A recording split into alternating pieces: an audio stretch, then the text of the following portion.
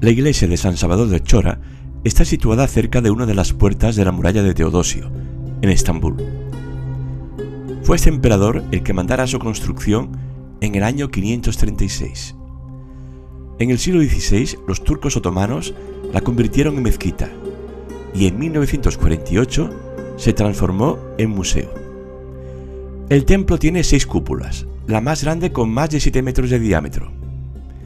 El interior está totalmente cubierto de pinturas y mosaicos datados en el siglo XIV.